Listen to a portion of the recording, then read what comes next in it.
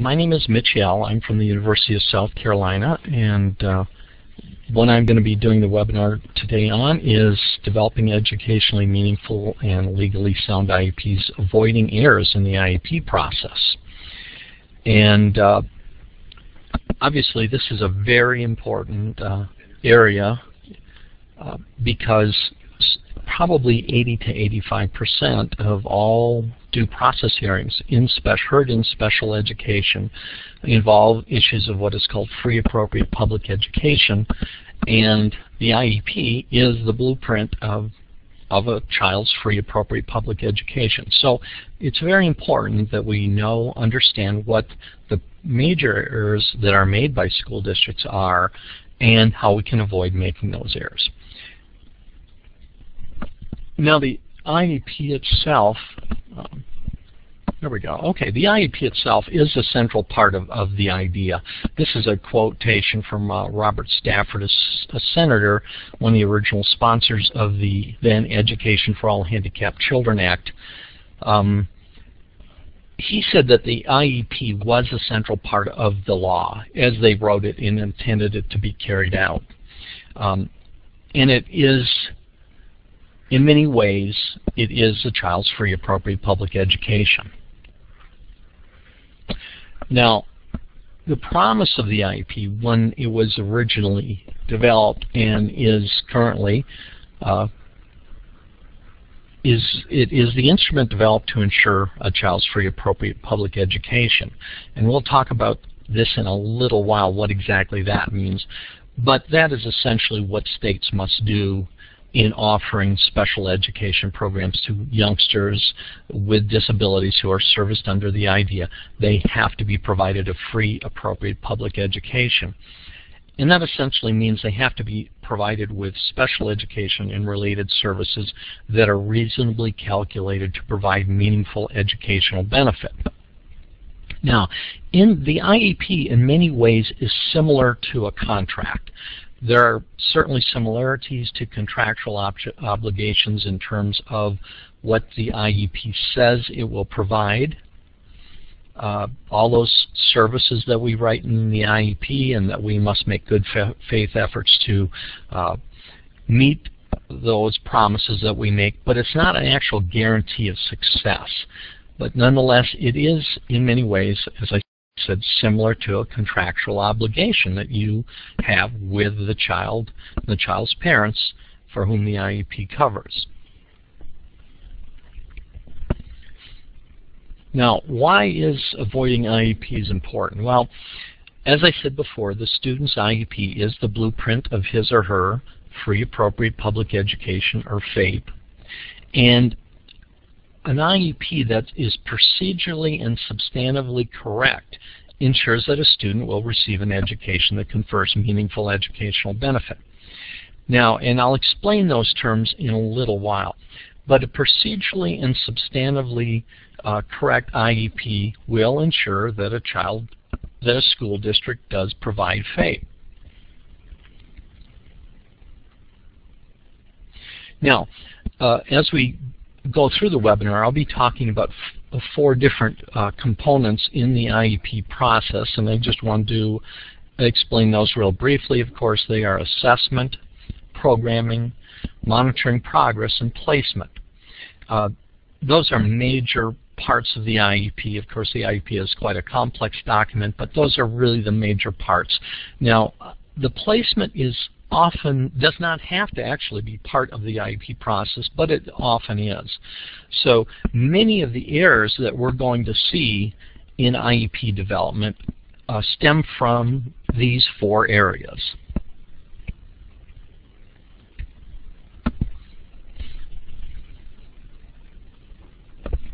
Now, free appropriate public education, that is the promise that was made in way back in 1975 in the Education for All Handicapped Children Act. The name was changed, of course, in 1990 to the Individuals with Disabilities Education Act. But the promise was that for all students who are eligible, all students with disabilities eligible under the law, is that the state would provide, any school district would, would provide them with special education and related services, which were to be were uh, provided at public expense, would meet the state educational agency standards, and that would be uh, provided in conformity with a child's individualized education program. So, and as I mentioned before, approximately 85, possibly more percent of all percent of all uh, due process hearings are revolve around the issue of is a child receiving a FAPE or free appropriate public education. That is why the IEP is so incredibly important in avoiding errors is especially important. Now, I want to spend a little time talking about um, oops,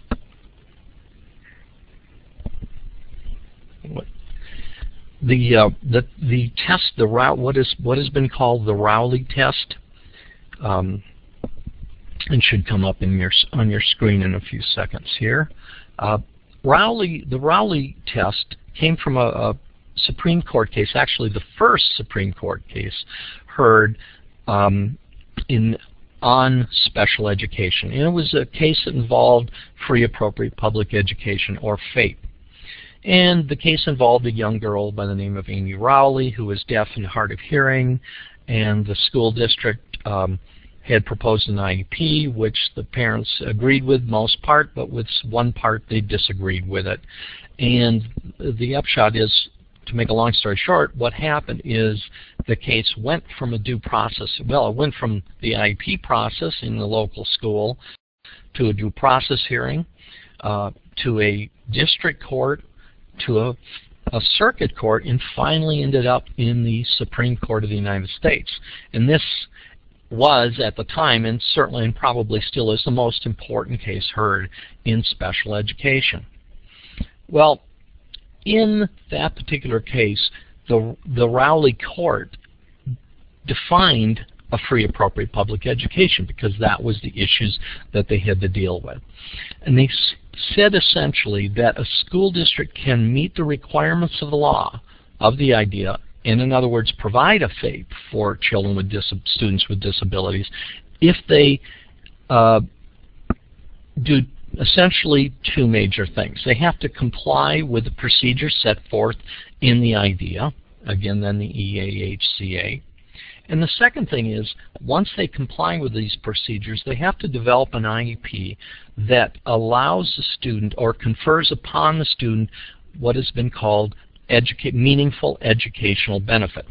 So, in other words, the Supreme Court said anytime there's a due process hearing, there's a court case on a FAPE issue or free appropriate public education issue, what a court or a hearing officer has to do is first look at the procedure set forth in the law and determine if the school, school has met those procedures. Uh, if they have, then they look on to the sec they look to the second part of the Rowley test, which is was the IEP that was written for the student reasonably calculated to enable the student to achieve educational benefit. So again, you can see how important the IEP is. Now, uh, there are, you can see there are two different sets of requirements here. The first, the Supreme Court called the procedural requirements. Procedural requirements require that as teachers, as administrators, that we know what the law requires us to do in developing a child's IEP and fulfill those requirements. Now, there are four major categories of procedures that we have to uh, uh, follow.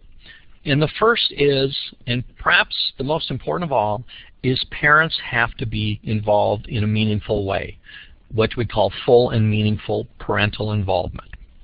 A second category of procedures is around, uh, occurs around the identification evaluation requirements of the IEP.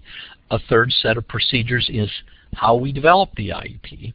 And a fourth set of procedures is in the placement uh, that we make. There are certain procedures that we have to follow in all four categories.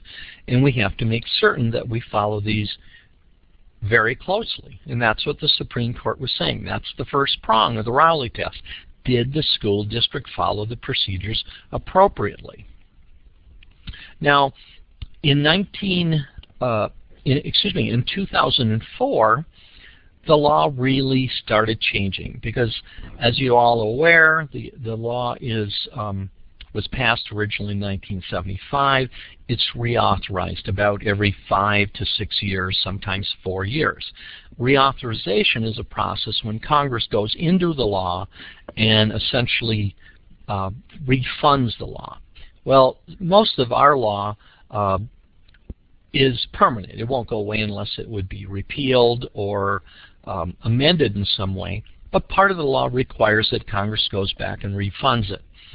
And that's what they do every four or five years. So they did a reauthorization in 1980, 1986, 1990, 1997, and 2004. In fact, they're even starting a reauthorization process right now. Well, in 2000, actually starting in 1997, the, the kind of the major push or the major gist of the IDEA started changing. When the law was first passed in 1975, it was really more about um, access, making certain children with disabilities had access to education. In 1997, it started to change.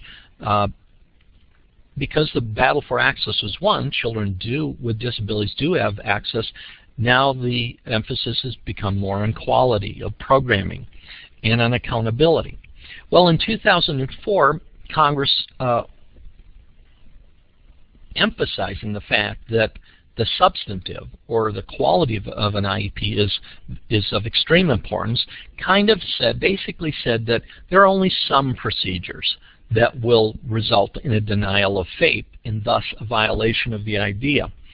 And that is when a school district makes procedural errors that one, impede a student's right to receive a free appropriate public education, two, impede the parent's right to, meet, to be meaningfully involved in special education, or three, cause a deprivation of educational benefits. Now, so the procedural errors that I'm going to be talking about really revolve around those four particular areas. And some of them we'll go through relatively quickly and some of them we'll spend a little more time on.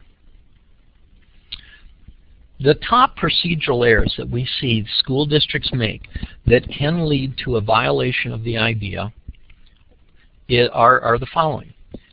Failing to obtain parental consent, failing to ensure a parent's meaningful participation in the IEP process, improper IEP team membership, predetermining IEP services and placement, failing to ensure a continuum of alternative placements, and failing to address transition needs and services.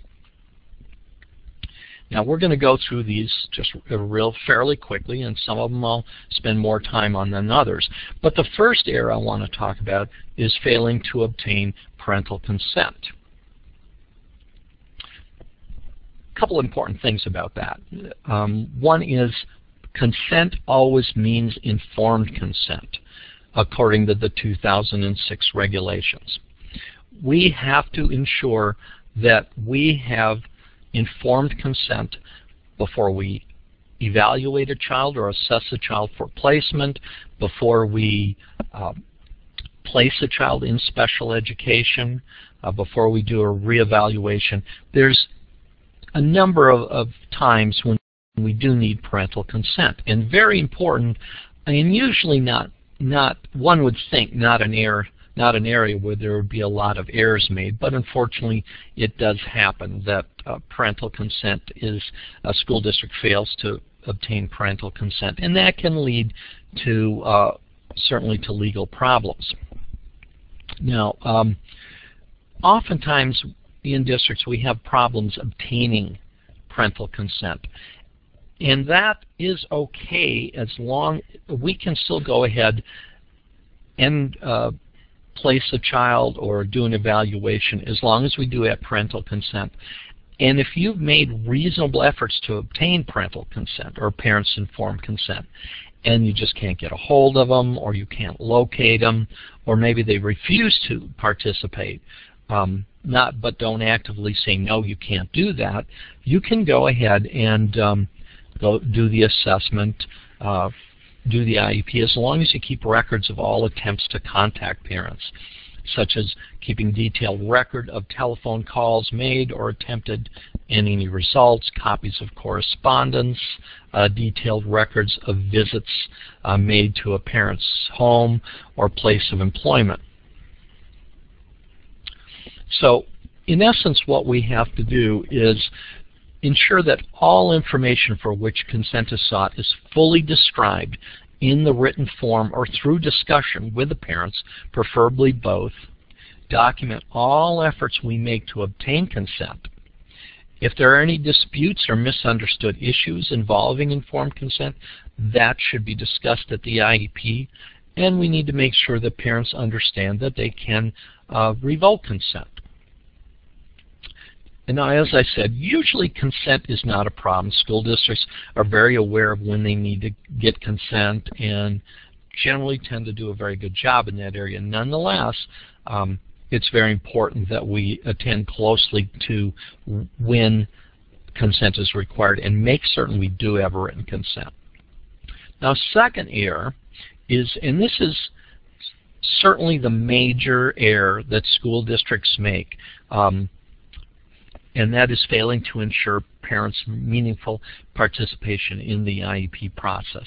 Um, by the way, we just had a comment from Travis. Will we be able to get a, a copy of the PowerPoint presentation? And yes, uh, that will be put on the website. That will be put. It'll be put on the website. Okay, so this is the second major error: failing to ensure that parents have a meaningful role in the IEP process. Now, um, the IDEA regulations essentially say that parental participation in the special education process, uh, decision-making process, is so important that it's one of two procedural grounds for finding that an LEA has denied a student a free appropriate public education with respect to involving parents. So very, very important. This is certainly the key procedural safeguard of the IDEA and it requires that school district personnel cooperate with and strongly encourage parents to be involved in all steps of the development of a child's IEP, from the assessment to the IEP development to the placement, parents must have a, play a meaningful role. And essentially, the law uses the term equal participants along with school personnel in developing, reviewing, and revising the IEP. So not only is it important that parents be involved at all steps of this process, it's also extremely important that this process is meaningful.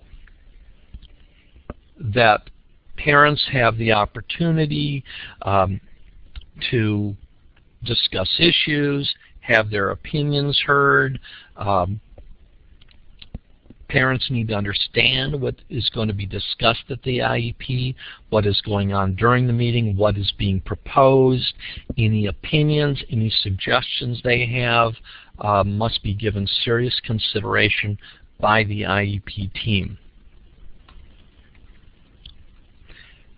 Additionally, one or both of the child's parents should be present at the IEP meeting unless, I said, it's we are unable to contact uh, a child's parents or they just refuse to come. But if we if that's the issue, if that's the case, we can go ahead and, and write the IEP, but we have to really be careful about documenting efforts at securing parental involvement and documenting that those efforts have been unsuccessful. Also, parents must be notified early enough to ensure they have an opportunity to attend um, the IEP meeting, the placement meeting, and the IEP meeting, as we know, must be scheduled at a mutually agree, agreed upon time and place. And I mentioned this before, but we may proceed without parents, but a meeting may only be held without a student's parents only when the LEA is unable to convince the parent to attend, uh, and in such in uh, situations I have to stress that you must keep a good record of all your attempts uh, to arrange a mutually agreeable time and place. So, strategies to ensure that we comply with this very, very important procedural safeguard. Be flexible and schedule meetings. Be flexible when you schedule your IEP meetings, your assessment meetings. Certainly uh, take the parents' uh, schedules into account when doing that. Give them enough time. Encourage parental involvement in the IEP process. And I know a number of school districts um, take steps such as um, having counselors working with parents um, to, before the IEP meeting to let them know what's going to be happening, uh, how important it is that they be involved.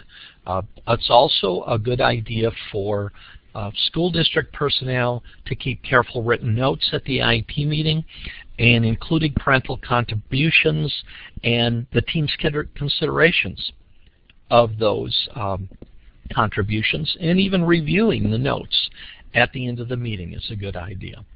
And if an IEP team elects to meet without parents um, because they were unable to convince them to attend, you need to be ready to defend your action with thorough documentation. Now, for the and uh, someone brought this up already, but it's very, very important that the initial IEP meeting, the parents are, are available, or the parents are at that meeting. Um, it's not as much a problem at subsequent meetings if you go ahead and, and hold it, as long as, of course, they've consented to it, and uh, again, you have that documentation.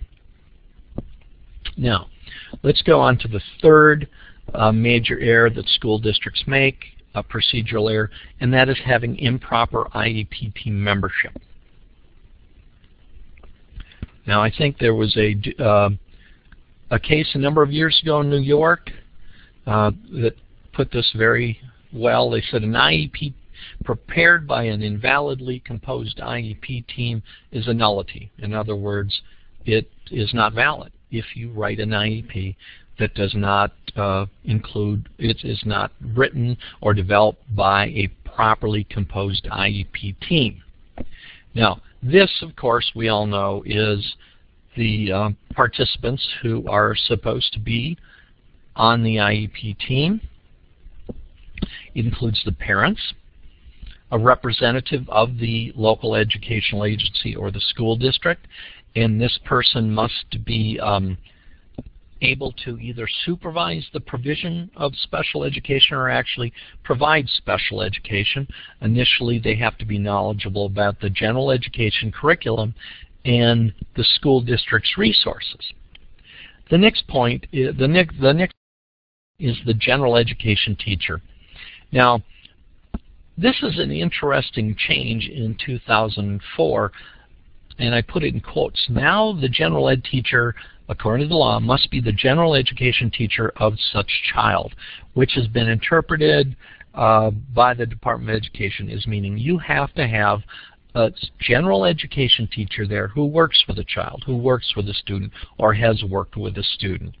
Um, only one in the case of having multiple teachers, uh, you still you would really only need to have one, but it really needs to be the child's teacher. Next, we have the special education teacher. Again, it says of such child. So that would be the teacher who works directly, the special ed teacher who's working directly with the child and involved in the will be involved in the IEP. The fourth person is a person knowledgeable about assessment. Uh, I should say the instructional implications of the assessment or evaluation. Now, interestingly enough, this person can be one of the other members of the excuse me team. Could be the uh, LEA rep. It could be the special ed teacher. It doesn't have to be a separate member, but whoever it is, they have to understand what the instructional implications of the evaluation or assessment results were. Uh, many school districts may use school psychologists uh, in this role, and that's certainly acceptable. It doesn't have to be.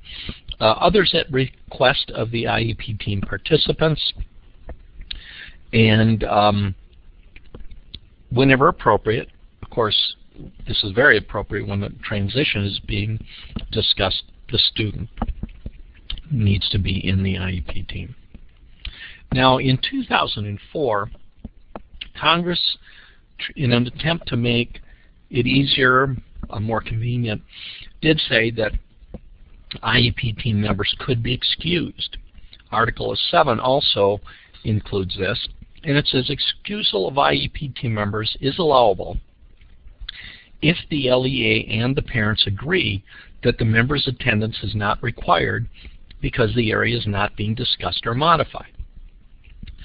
So also, the members area, if the members area is being discussed, but the member and the member is not able to um, make the make the meeting, they must submit a written report prior to the meeting. And of course, parents must give informed consent to any excusal.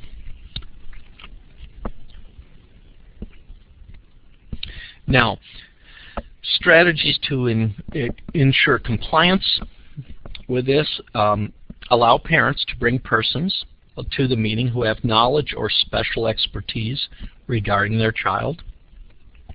You could include related service providers and others who will be involved in the child's programming. A good idea. But be very careful to avoid routine use of the excusal process. Um, this is not something we want to do very frequently. That is to say, you know, get the parents' permission to have a, a member excused. It's also very important that we understand the role of the general education teacher. That in now the general ed education teacher, according to law, should be the child's teacher. And they need to be involved in a meaningful way too. And um, they also need to be kind of the conduit to general education that if there are any modifications to general education or supplementary aids and services, the general education teacher is the one who is uh, responsible for those to make to make certain. Of course, we're all responsible, but they can help to make certain that other teachers in general education understand what they are to do with respect to any program modifications. And of course, when transition services are being discussed, ensure that the student is on the IEP team. Now, brings us to the fifth major error, and that is predetermining IEP services and placement. Now, I said that the second major error I talked about, which was in parental involvement, not having the parents meaningfully involved in the IEP process, is very is related to this. But nonetheless, I decided to do it as a separate one because we're seeing more and more due process hearings on this very issue, and it's very important. Um, it's a it's very important that schools do not make this error because if you're if it's if you predetermine IEP services replacement, that is almost a, a that's a very likely uh, violation of the IDEA. Now, what exactly is predetermination? Well, predetermination is when the team essentially decides, the school-based team essentially decides the student's placement or program prior to the IEP meeting and without parental participation. Excluding parents from the from the program or placement decisions certainly may constitute a denial of a free appropriate public education. So going into IEP meetings with your mind made up, this is what we're going to do, is clearly a potential violation of the IDEA. You don't want to do that. S definitive statements made during the IEP process, such as, no, we always do this, or we never place uh, youngsters with autism in this setting. Uh, any type of statements of definitive nature of that are very good evidence of predetermination. So extremely important that you avoid that. Now, the question always arises regarding predetermination is, are draft IEPs okay? Well, they are. Um, I've uh, been a teacher for many years. Um, and I would bring draft IEPs into meetings, and that's fine. You can prepare for a meeting as long as you don't predetermine. Um, you can have pre-meetings or preparatory activities uh, in which you discuss issues that will be raised at the IEP meeting, but you cannot come in with a final IEP. And it sounds like an, an issue that people would say, well, that seems to make common sense. You have to have the parents meaningfully involved. But as I said, there have been a number of cases in which school districts have lost have lost because it was determined they did not provide FAPE and they violated the IDEA because they didn't or the court or the hearing officer decided the school district had really made up their mind prior. And that really makes the whole issue of parental involvement a ruse, and that's why that's such a serious error.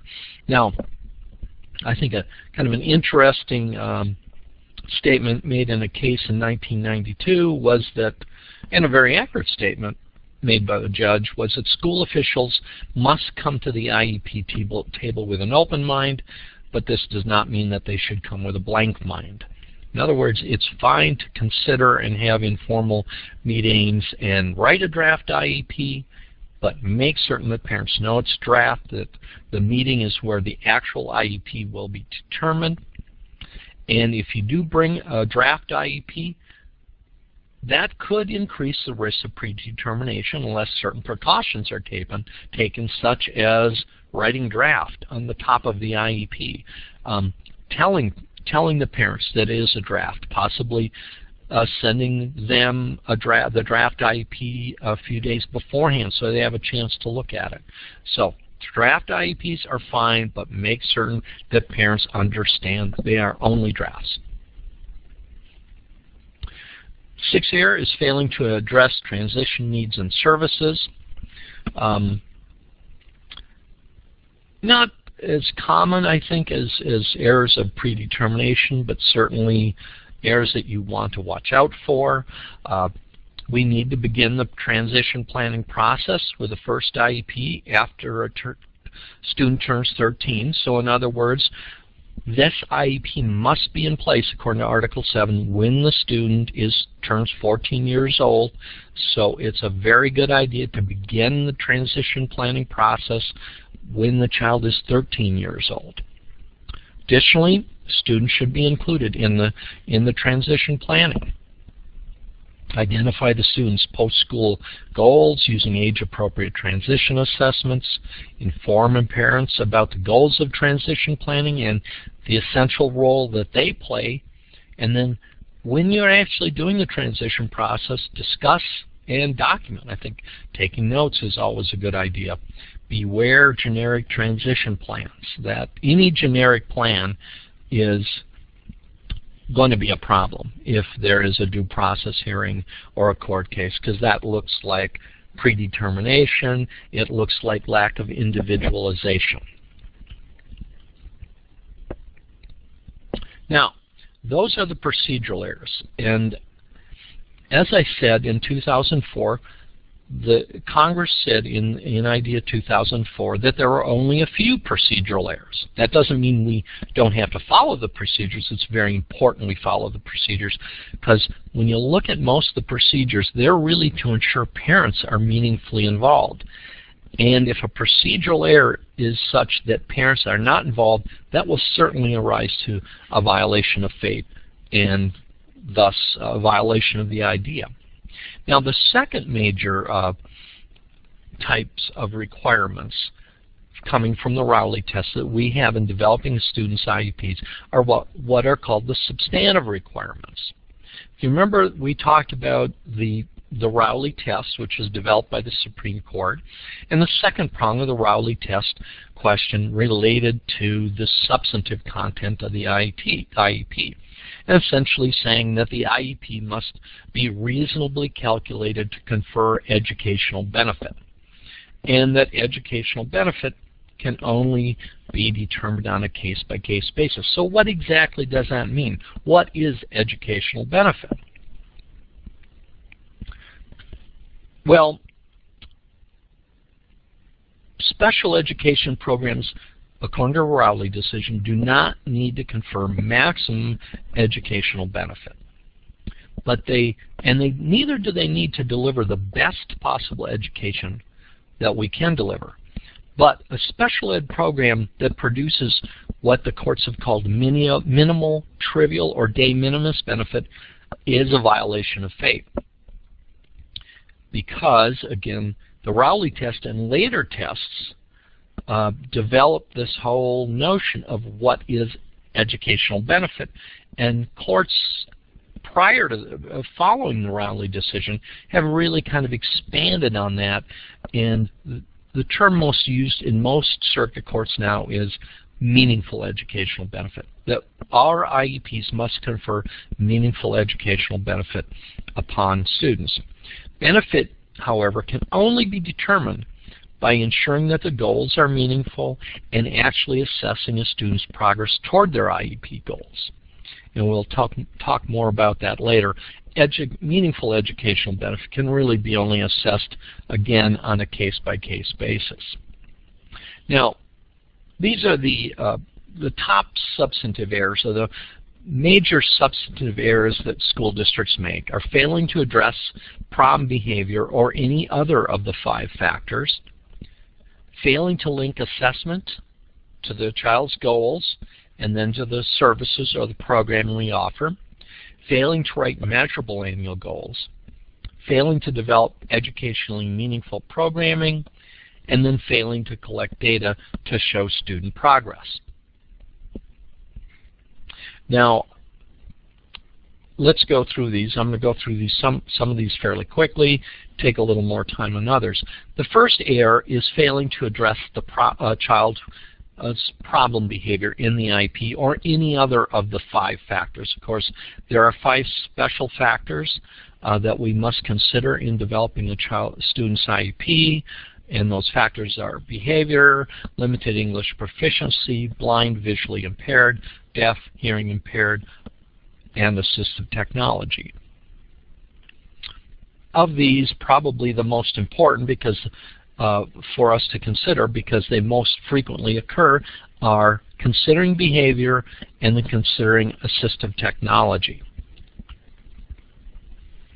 To make certain that we do not make this procedural error, ensure that the IEP team specifically reviews these five special factors as part of the IEP process, which of course includes parental input. This is an especially important issue with respect to a child, to a student's behavior. If a child exhibits problem behavior, regardless of the child's disability category, if it's emotionally behaviorally disordered or autism or uh, learning disabilities, if there is an indication of problem behavior, clearly that has to be addressed through the IEP process. It has to be addressed in the assessment, in assessment indicates problem behavior. The goals have to address, there has to be a goal addressing problem behavior, a service, and uh, as with academic goals, uh, they have to be monitored. Progress toward behavioral goals also has to be monitored. It's um, the law, of course, says that in the case of a student, and doesn't say what disability, it just says a student with disabilities whose behavior impedes his or her learning, make certain that we consider positive behavioral supports and strategies to address that behavior. Accent on the positive. There have been a, a couple of due process hearings in which school districts have lost because they have considered behavior, but the behavior plan or the goals, the services that they use were only punishment or behavior reduction, such as um, suspension, um, timeout, things like that. There was no positive way because really what, what Congress wanted when they wrote this section is that we approach problem behavior in a proactive manner and, and concentrate on teaching and skill development to teach appropriate behaviors rather than just punishing students or trying to eliminate uh, problem behavior. Additionally, uh, assistive technology should always be must always be considered. If a child has assistive technology needs, of course, that has to be included in the IEP.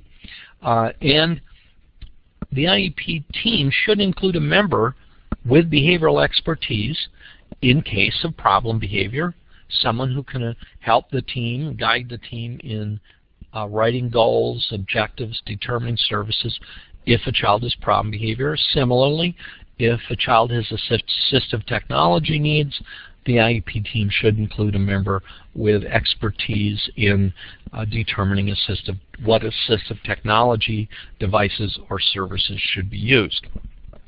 That leads us to the ma eighth major um, problem or error we see in IEP development, and this is a very important one because failing to link a student assessment of a student to the goals that you develop for the student and to the subsequent services that you provide, that is almost that's a surefire way to not provide a FAPE. And essentially what I mean by that is that our assessments have to be done in an in an appropriate manner. And too often when we do assessments, we only look at issues of eligibility. But in fact, when we do an assessment, we're looking at more than eligibility. We're looking at eligibility plus what instructional services will we be providing to a student. Therefore, the assessments that we do must inform us and help us make a decision regarding eligibility, but it's also very important that it leads directly to instructional programming, that it be meaningful and relevant to determining what those services that we offer in the IEP look like. Additionally, the assessment also um, includes the progress monitoring. Because in, in essence, the assessment when a child enters a special education program is the baseline from which we start, where we write our goals from this baseline, and we monitor a child's progress toward the goals. And these all have to be connected.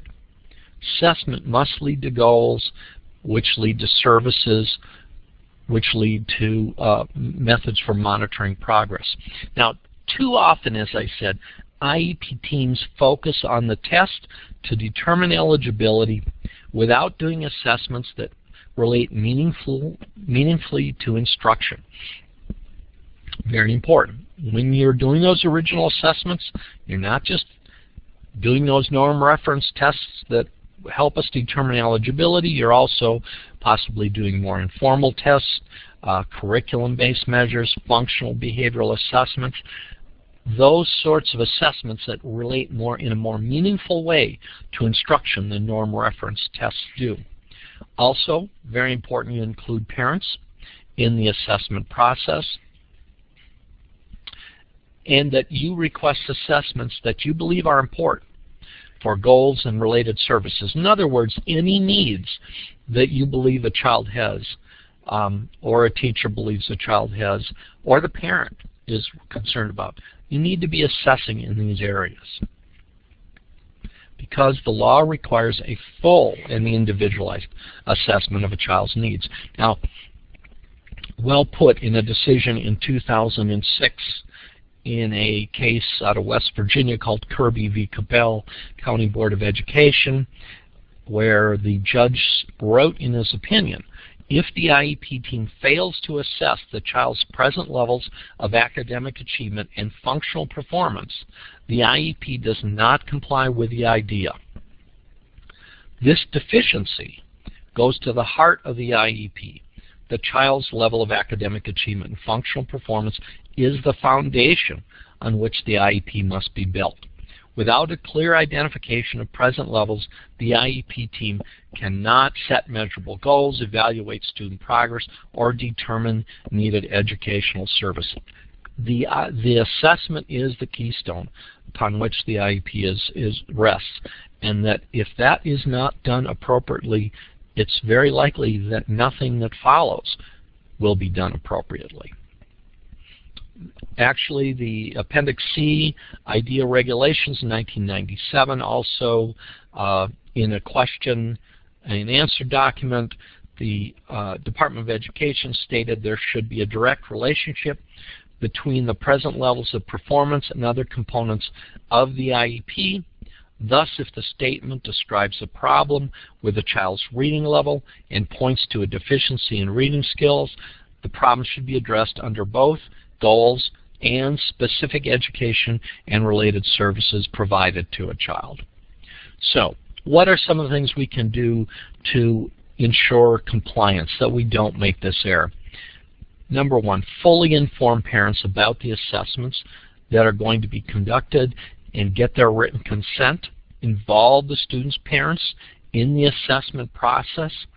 And very important, ensure that the assessments are instructionally relevant, that they will inform the development of the goals, the programming decisions. Again, not just looking at eligibility, but looking at what are the child's needs that need to be addressed in the IEP and make certain that all needs are identified in the assessment and addressed in the annual goals and services. Now that leads us to the next major uh, problem we see or type of violation which is failing to develop measurable annual goals. Of course, as I said, uh, and we all understand the assessment leads us to the goals, and the purpose of measure, our measurable annual goals is to estimate what a student may accomplish in a year's time, and then to evaluate the success of a student's special education program. Now, certain very important characteristics of goals. First, goals must be measurable we must be able to measure a student's progress toward meeting those goals using, and we'll talk about this in a little while, actual um, data that is measurable, and then we must make sure that we actually measure the goals. Um, as Barbara Bateman said, if a goal is not measurable, it violates the IDEA and may result in the denial of a FAPE if a goal is not measured, that also violates the IDEA and may result in the denial of a FAPE. There have been many uh, decisions that have been heard on goals. Uh, one of the, my, I think one of the, the best decisions in terms of the judge making a summary statement about how important goals are was in Rio Rancho Public Schools, which actually an SEA decision out of New Mexico, um, and the decision stated the student's annual goals and objectives in the IEP simply do not contain objective criteria which permit, permit measurement of students' progress. And in this particular case, an IEP was declared to violate FAPE because the goals were not measurable. The uh, hearing officers went on to say that a goal, which the IEP included goals of increasing improving and increasing reading comprehension. And the hearing officer wrote, a goal of increasing reading comprehension skills or improving decoding skills is not a measurable goal. Even if the present levels of performance were clearly stated, an open-ended statement that the student will improve does not meet the requirement for a measurable goal. So how, how do we ensure that this is a, a problem that we do not have in our IEPs? Well, one of the things over the last few years I have uh, spent a lot of time on is is analyzing IEPs from a number of states, and this is a very big problem in IEPs. So so often, um, goals are not written in ways that are measurable. Well, what can we do to ensure that we do comply with this? Number one, we must look at that assessment and the present levels of academic achievement and functional performance and make certain that every need that we identify, every instructional or functional need that we've identified in those present level statements has a goal. And furthermore, these goals must be specific, they must be clear, and they must be measurable improve to improve, Johnny will improve, or Johnny will increase skills. It's not a measurable goal. It must be written in a way that someone can actually measure progress from the assessment to the end of the year or on a more frequent basis, which we'll talk about, and truly measure a goal. Now, the goals section of the IEP must also contain information on how the student's progress will be measured, and furthermore, how progress will be communicated to the student's parents. So, in the very important thing here is we must write measurable goals, and we must actually measure those goals. And that leads us to the next major problem, which is Error 10, failing to develop um, meaningfully uh, edu or educationally meaningful programming. Uh, the programming requirements uh, are consist of special ed services that we provide, the related services, the supplementary services, and the program modifications. And as you all know, in 2004, this was the section on peer-reviewed research was added special education services, related services, supplementary services, and program modifications must now be based on peer-reviewed research to the um, extent practicable. And what does that mean? Well, the Department of Education has essentially said extent practicable means if there's research, you have to use it. Uh, we've actually had some due process hearings heard on this question of IEPs, special ed services being drugged based on peer-reviewed research. Uh, there was a decision out of Iowa in which the school district was found to have violated the uh, FAPE requirement because they did not use, use research-based services or their special ed services were not based on the research. In fact, they were actually counter to what the research was saying and that decision was ultimately upheld at a district court level. So there have been a few cases. This is an area in which which is so new in a legal sense since 2004 that a lot of cases haven't gone to due process or we haven't heard it, certainly the district court. Um, but nonetheless, it's very important to realize special ed services must be based on peer-reviewed research. What does that mean? Well, according to the IDEA, or, or Congress and the Department of Education. What that means is our services must be based on what works, on what peer-reviewed journals have found to be research-based strategies or strategies that work in, in teaching reading or behavioral eh, programming or whatever. Or we can use uh, strategies that have been approved by an independent panel of experts. And the final analysis, of course, is our programs must be designed to confer meaningful educational benefit. So what can we do to make certain that we comply with these programming requirements? Well, number one, programming decisions must be individualized. They're based on the needs of the students, not the availability of services. Our measurable goals must be based on meaningful assessments, and moreover, they must be ambitious. No school district has ever lost a FAPE case in a due process hearing or in a court because the goals were too ambitious. They have frequently, often, more often lost because the goals were not ambitious enough. And the courts decided that, well, if the student makes this goal, it really will not benefit. It will not benefit the child because it's not a meaningful goal. So in writing goals, you want to be reasonable, but you really should err on the side of ambition. Also, services in the IEP must be based on peer-reviewed research, and whatever services we include in the IEP must be delivered as specified. So in that sense, an IEP is like a contract. If we've said in the IEP this is what we're going to do, of course we have to do it. 11th major error.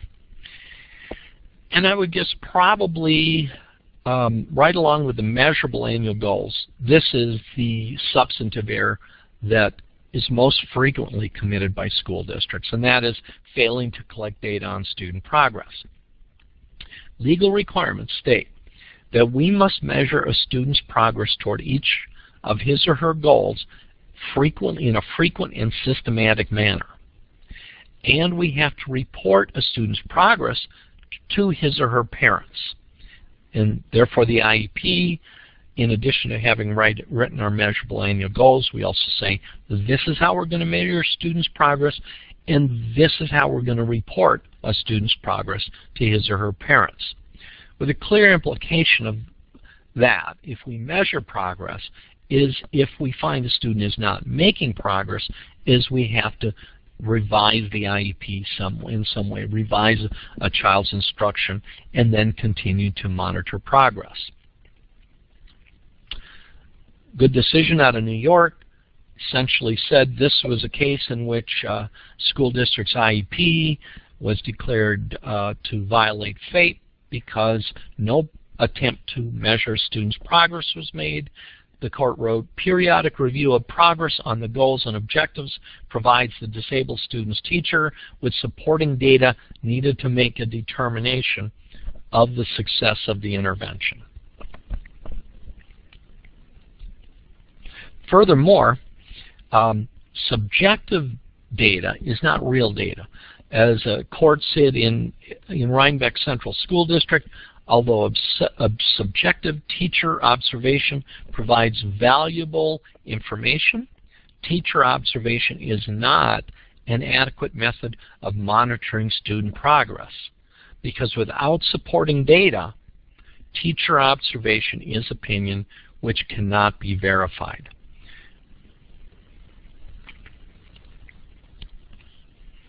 And one big caution was that we must give here is in the misuse of percentages. Uh, Barbara Bateman has said that one of the biggest uh, disservices to special education was when somebody decided that just by putting a percentage in a, in a goal, you make it measurable. Of course, this is not true at all. Uh, another decision, Rio Rancho Public Schools, IEP was thrown out when the annual goals were determined not to be measurable. And one of the reasons was that the annual goals contained percentages of accuracy that were not helpful. That is, the IEP failed to define where the students started and where they would end. Therefore, to say 80%, eh, they would achieve 80% accuracy when the IEP did not say what the beginning point was or the ending point was, according to the Rio Rancho Public School decision, was a violation of the IDEA because percentages by themselves are meaningless. Now, how can we ensure that we don't violate the uh, data section of the IEP? Make certain we include a method of monitoring progress and the schedule and format for reporting to a child's parents in the IEP. Again, you have to make sure those goals are measurable and then actually measure them. You need to collect real data, not which the courts seem to have been saying really are numbers, not so much words. I mean, remember, teacher opinion is very can be very important, but at the end, in a measure, in if in a due process hearing, opinion is just opinion, and it's not real data. We have to also make um, program adjustments if needed. Now, um, if there's any one thing that I think we can do to bulletproof our IEPs is make certain that we write measurable goals and actually measure them. Actually be able to show that we uh, that our student that a student is making progress toward his or her goals. That requires collecting some sort of data. Now, how do we make certain or ensure that we avoid all these potholes, all these legal IEP errors? Well, of course, we have to make certain that all staff understand the procedural and substantive requirements of the IDEA. Know what the law requires. The law is cha changes quite frequently. There's cases that are constantly, constantly being heard that can inform us about certain issues in law we need to keep current on legal legal developments. So it's really important when the IDEA changes, which it will in a few years when it's going to be reauthorized, that we provide professional development activities on the IDEA's requirements for teachers and for administrators. We have to ensure meaningful parental involvement. The IEP expressly contemplates parents are going to act as advocates for their children at every stage of the special education process, and we have to ensure that they are meaningfully involved. Third, make certain that we develop measurable annual goals. We have to do an assessment that addresses all those areas of need, and then we have to actually measure a child's progress toward those goals. Can't do that unless the goals are written in ways that are measurable. And monitor student progress. Now, as OSEP's Center on Progress Monitoring said, is that um, progress monitoring is a scientifically based practice that is used to assess students' academic and functional performance and evaluate the effectiveness of instruction. Again, if there's any one way to bulletproof a school district's IEP, it's to make sure certain that you've written measurable goals and you actually monitor student progress and show student progress in the data that you collect. That is real quickly um, a synopsis of the major errors uh, that we see in IEP development. And of course, can't stress enough that the IEP is the fate for a child. It is a free, it is the blueprint of a free, appropriate public education, and um, we need to ensure that we write IEPs that are educationally meaningful and legally sound, and avoiding those major errors and really concentrating on parental involvement, on on the whole assessment, goals, services, progress monitoring component will help to ensure that our IEPs do really benefit children and they are written in a way that that is legally correct. So that it's about an hour up. I think we have a little extra time if people wanted to uh, had any questions or things they want to bring up. Again, this um, thanks so much to the Indiana IEP Resource Center. Um, Jolly Matt and Elisa and everyone, and this will be uh, posted on on the web page. So if anybody has any questions or comments, uh, just type them in.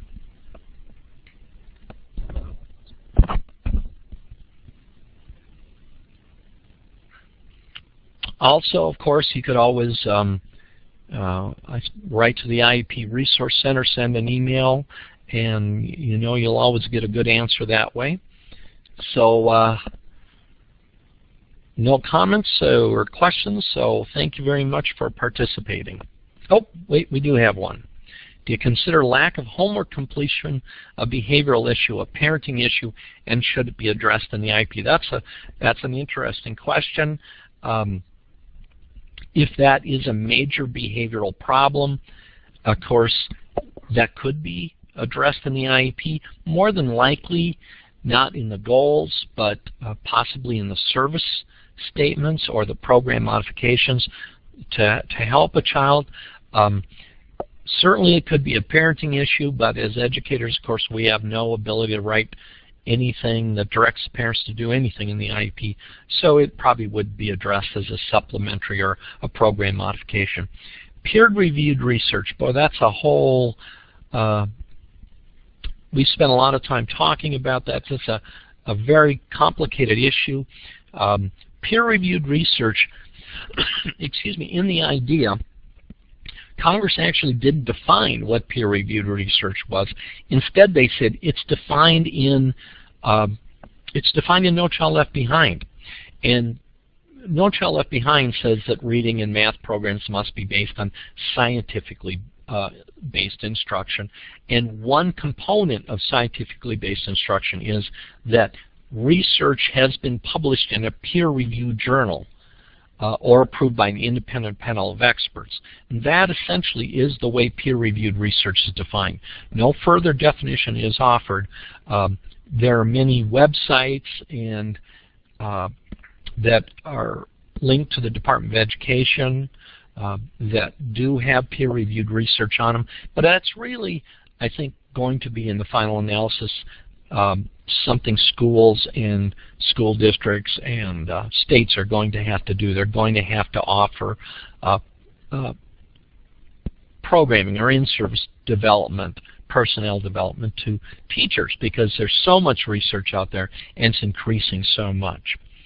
Uh, it's, this is something that we're going to be hearing in the courts in the due process, I would say in a few years. Um, another interesting question, what if uh, the parents are capable, I guess, uh, oh, students are capable but refuse, therefore they won't meet their goals and the parents won't reinforce it. That is certainly a tough issue, um, but what, what our responsibility is, is to involve the parents to the extent that we can, document it if we can, uh, write meaningful goals, and measure progress, but the IEP is not a guarantee of progress. It's a guarantee of we're going to make good faith efforts uh, to educate a child. Um, what is a reasonable num- uh, number of attempts at notification? No good answer for that. You know, you just make the best efforts you can.